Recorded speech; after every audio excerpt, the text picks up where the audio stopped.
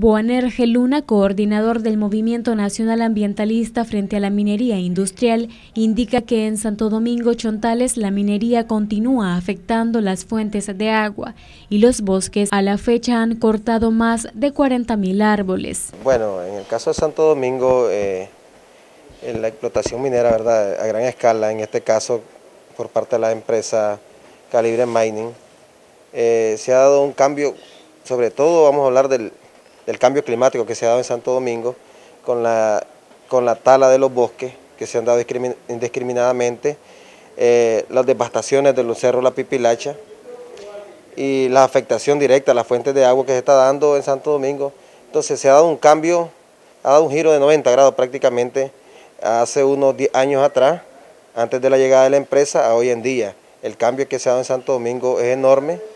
tanto de que se han secado varios ojos de agua, la principal fuente de abastecimiento de la población colapsó y, sigue en destrucción porque ellos siguen explotando a menos de 100 metros de la, de la área poblada, o sea, de la carretera. Entonces esto va a ir avanzando y no se puede medir el impacto a futuro porque la empresa día a día va explotando y la reforestación no se está dando por parte de las empresas. Eh, ellos manejan su, sus viveros, que le llaman ellos, donde ellos supuestamente plantan o hacen los viveros para, hacer las plantaciones una vez que explotan las áreas, pero al final no se dan porque no hay un cuidado adecuado para las plantas que supuestamente ellos, ellos plantan eh, para mitigar el impacto y no se dan, entonces no se, no se ve desarrollo en esas plantas y seguimos igual. De igual manera, Luna recomienda que se hagan estudios de impacto ambiental antes de explotar este recurso. Bueno, de que para que las explotaciones mineras se den en los territorios, que se hagan unos estudios más amplios y donde la población participe, porque ese es el otro problema, la, la participación de la población no se da. Entonces las empresas prácticamente llegan como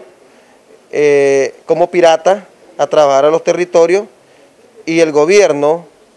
desconoce o no quiere reconocer de los impactos negativos que estas empresas eh, dejan a la población eh, con el pasar de los años. Entonces, en el caso de Santo Domingo, que ha sido un pueblo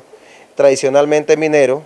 en las futuras generaciones se van a ver complicadas para, para la sobrevivencia. Para Noticias 12, Anduriña Ortiz.